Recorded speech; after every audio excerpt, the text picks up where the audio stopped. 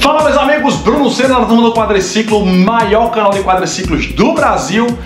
Novidade aqui para você, eu já vinha pesquisando bastante sobre isso, uma maneira de tornar aí a suspensão do quadriciclo Honda Fortrax mais macia na parte traseira e agora eu pego nessa deixa aí, ó, tornar a suspensão mais macia e agora eu vou trazer para você uma novidade que pode aliviar a sua coluna aí no Honda Fortrax. Então, para você que quer tornar aí a suspensão mais macia do seu Honda Fortrax, vem aqui uma dica de ouro.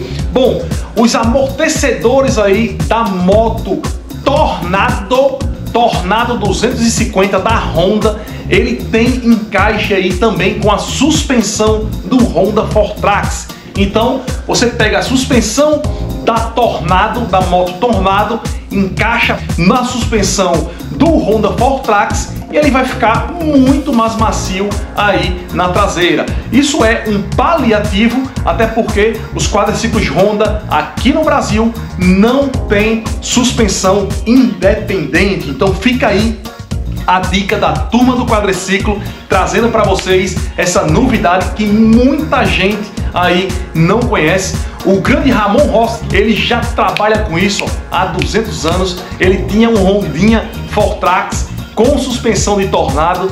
Então, há muito tempo atrás eu entrei em contato com ele, né?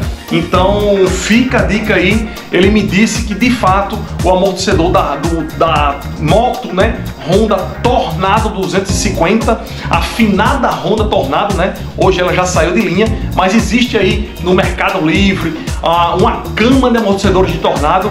Em média, eu andei pesquisando em torno de 300 reais você compra um amortecedor de tornado para poder colocar no seu quadriciclo aí e deixar a suspensão do Honda Fortrax um pouco mais macia.